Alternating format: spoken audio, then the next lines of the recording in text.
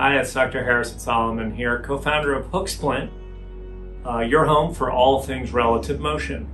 So today we're going to talk about sizing and how you put the splint on and achieve the proper size.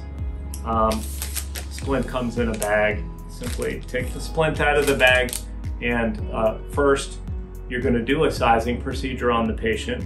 I'm going to demonstrate on four fingers, but you can do it on three fingers. And when, when you do your sizing, you want to put the fingers in the position that you're going to treat. So in this case, we will do a middle finger in relative extension with a four-fingered splint.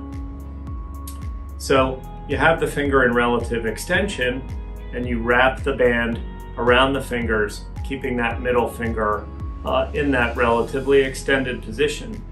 Then from that position, you just find the appropriate hole and you hold it down or you uh, just partially bend it so that it's sticking. And now you can flex and extend the hand, have the patient do that. So you can figure out if you're too tight or too loose. If you're too tight, you're gonna get a little scissoring when they go to bend. If you're too loose, it's gonna feel a little loose.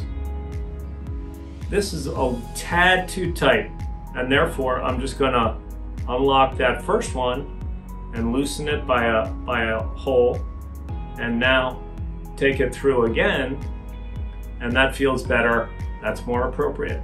So now you have your appropriate sizing.